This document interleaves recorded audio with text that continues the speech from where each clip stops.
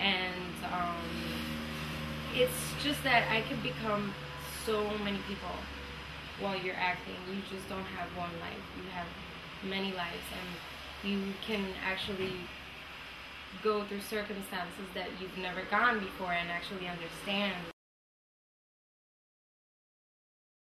It's gonna be in Richboro, Pennsylvania, in January 18th, from the 18th through the 21st. Um, it's called The Shire, and it's about this small family from England um, that has a crazy life. You know, it's a I played the character of the Lord and Lady's daughter, Jessica um, Parker. Um, I'm a spoiled brat. I'm the only child, and I go to the states to study and actually basically to move away from the person or the guy that I love because he hurt me. He, I, I saw him kissing somebody else, and so I decided to leave. And then I came back just to get revenge. Um, my mother is a frustrated um, woman because she doesn't have sex in the play. So it's supposed to be like a comedy kind of play, which it is. It's comedy. Um, and my grandmother is a crazy lady. So it, it's just a funny story about this whole big like royal family and it's just gone wild and crazy.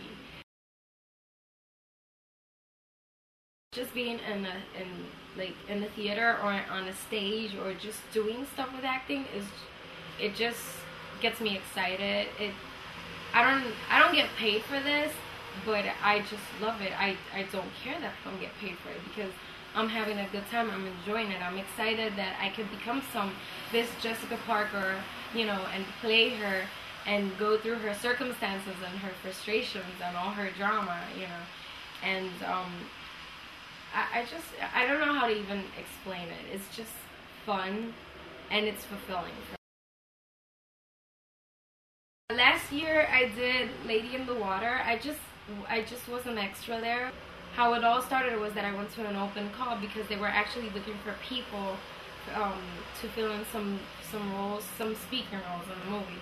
So they were looking for bilingual people. And I went to the open call and the assistant director heard me speaking Spanish and um, he pulled me out and said, you know, I see you speak Spanish, you have to meet the casting director because we're looking actually for people that speak Spanish. So I met with the casting director real quick and they got my information and everything and they gave me a call back to read. And so I did, I read for De La Torre Sisters, if anybody has seen it or if anybody will see it. Well, that was one of the characters that I was going to play. I didn't get the part, I went to the audition, I didn't get the part. Um, they asked me if I was interested in working as an extra and I told them that yeah, I was more definitely, you know, um, able to work as an extra.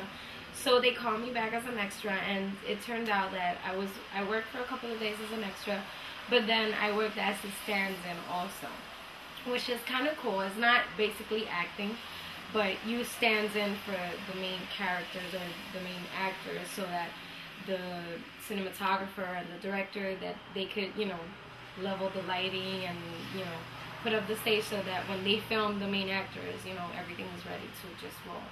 Um, so it was cool. It was a really nice experience. It um, uh, I met a lot of people, and um, I actually because of that I got waivers so that now I could become a SAG member.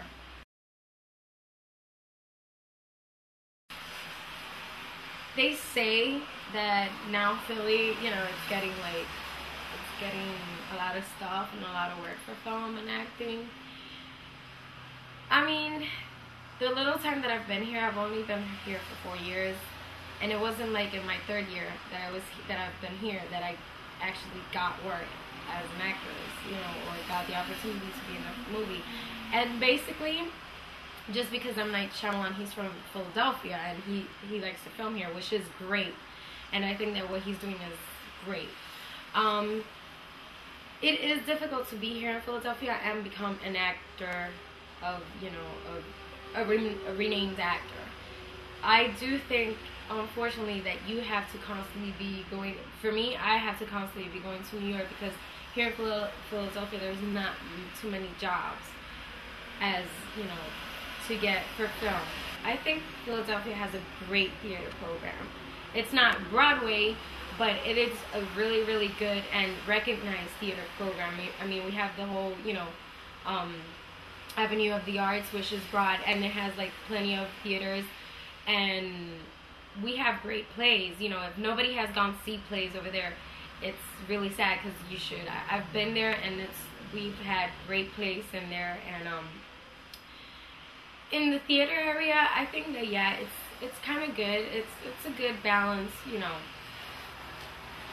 industry if you would like to say it in the theater field mm-hmm. we have a lot of independent filmmakers here, which is good too, and it's great because now nowadays that's like the big thing, you know, the independent film. For any actor who really loves acting, anything is good and anything is important.